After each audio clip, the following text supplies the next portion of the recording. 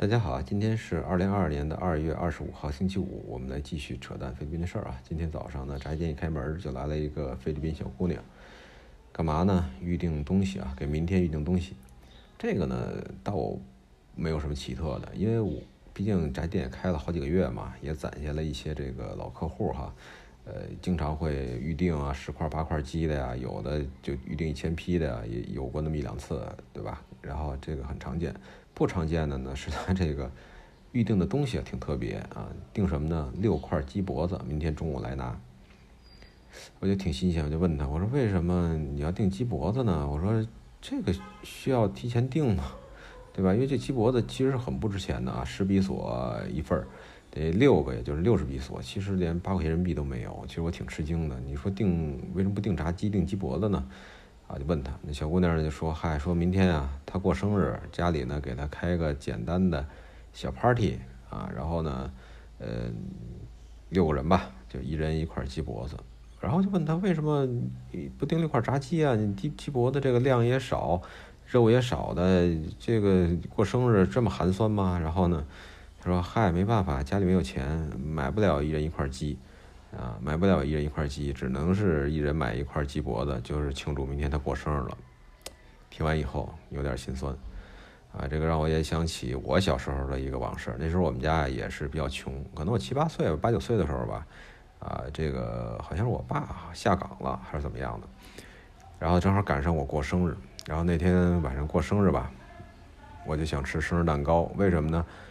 呃，因为上小学之后吧，你周边有好多的同学嘛，然后呢，大家过生日的时候呢，很多的同学呢，哎，都会炫耀自己吃生日蛋糕啊，或者有的同学呢，还特地带一份带到班里来跟大家分享，啊，所以呢，我呢对这个生日蛋糕呢，其实是非常极度渴望的想吃一次，然后呢，没想到那年生日呢，啊，应该是我们家的家境不太好，我爸应该那边是停薪留职吧，也不叫下岗，停薪留职。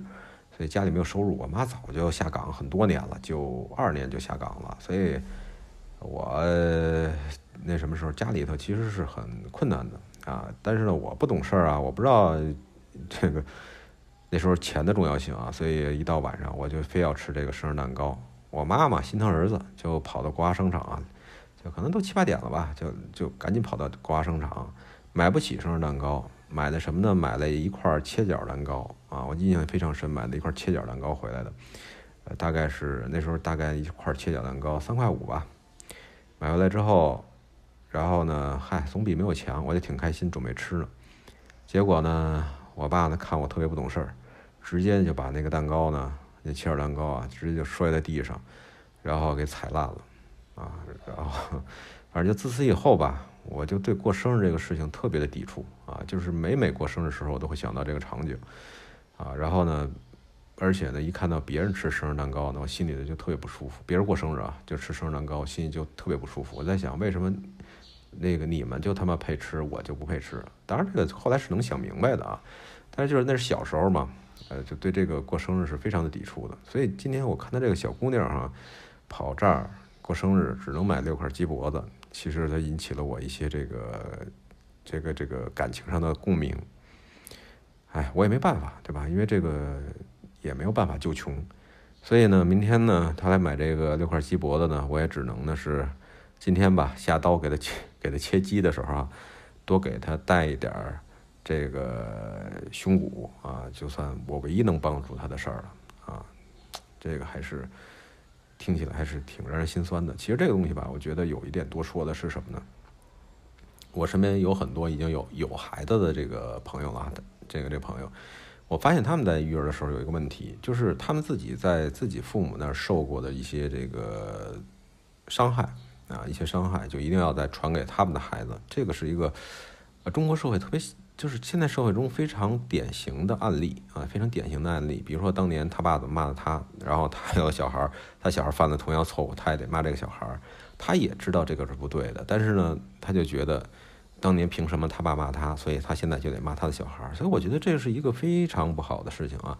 所以我就觉得，就是跟一些朋友在聊天的时候，我们都在说，其实像我们这代人，更多的不仅不仅仅哈，就是说养家糊口、教育小孩儿，还有一方面是很重要的，就是。要把老一代对我们的伤害消化掉，不能把这些带给我们下一代啊，下一代啊，真是这样的。所以今天吧，就是看见这个菲律宾这小姑娘啊，过来买这个炸鸡脖子，哎，不叫买啊，要预定这个炸鸡脖子这个事儿，突然让我想到了，多想到了一点事儿。得了，今儿跟大家聊到这儿吧，明天我们再继续扯淡菲律宾的事儿。